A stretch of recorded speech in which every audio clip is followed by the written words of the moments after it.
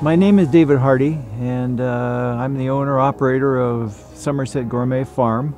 We're located in Somerset, California, which is in the foothills of the Sierras, El Dorado County. Uh, what we will be doing is incorporating the solar fence within our existing rows of wine grapes, uh, utilizing uh, more efficiently the space within our um, vineyard to uh, both grow our wine grapes but also uh, produce power for our farm.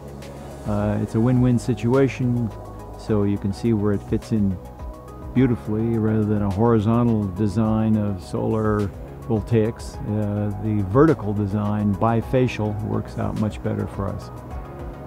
Well, uh, being that uh, we've uh, incorporated it within the context of our field uh, and not isolated it out of uh, the visibility of our local Perry Creek Road, uh, it, it, allows uh, other farmers and other vineyard owners to see the, the possibility of incorporating it within the context of the field while utilizing um, the equipment and not jeopardizing the, the uh, possibility of cultivation, fertilizing.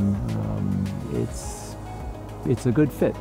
It's a good demonstration project for the rest of the community and the farming community to show them all the possibilities. The land we have is uh, devoted to agriculture. On the other hand, uh, it's multi-use.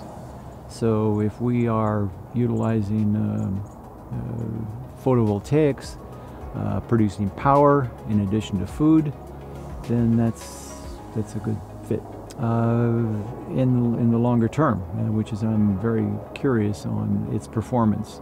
Uh, I think it'll do very well, producing a great amount of power in the morning, uh, midday, not so much, uh, and then in the later afternoon. So, um, contrast with uh, horizontal uh, designed systems, those systems produce much greater. they're efficient in the after, in the midday, but they fall off in the morning and they are inefficient in the afternoon. So this will give us um, power when, when we actually need it.